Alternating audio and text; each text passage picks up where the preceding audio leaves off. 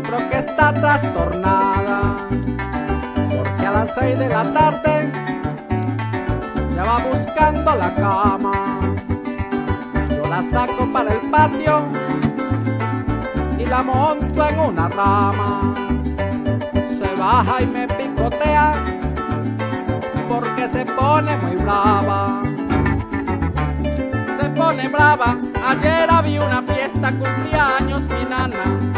Tomando cerveza, preparando carne asada, apoya en un descuidito, mientras que la gente hablaba, empujaba la cerveza para que se derramara, se la tomaba todita, lo hacía como si nada, después andaba leteando, les cuento hasta que bailaba una salsa, una bachata y también una balada, por eso yo se las traje para que ustedes gozaran. La polla loca, ella es muy rara, ella nació allá en Caicara, ahora es un golpe, suena en el arpa, en el estilo llanero zapatenlo con ganas. La polla loca, ella es muy ella nació allá en Caicara, ahora es un golpe, suena en el arpa, en el estilo llanero zapatenlo con ganas.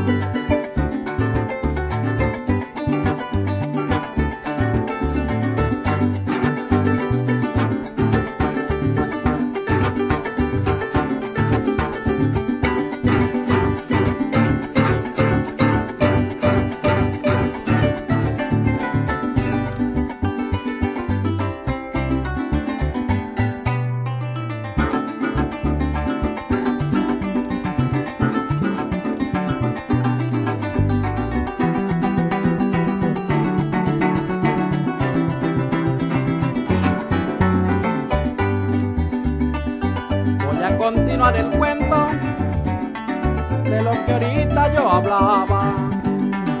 Fueron pasando los días, la polla más alocada. En la casa habían dos perros y ella los imitaba. Cuando salían ladrando, ella iba y carapeaba y caraqueaba. Fue la vecina con su sobrinita Ivana.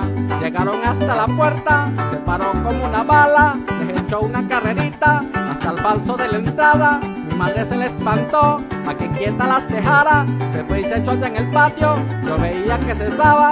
Se paró y se fue volando a la casa de Susana. Yo escuchaba un alboroto, parecía que peleaba. Yo me fui para allá corriendo para ver lo que pasaba. Peleaba con un samuro que la casa le rondaba. La polla loca, ella es muy rara.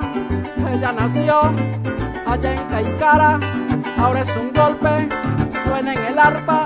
En el estilo llanero zapatenlo con ganas. La polla loca, ella es muy rara. Ella nació allá en Caicara. Ahora es un golpe, suena en el arpa, en el estilo llanero zapatenlo con ganas.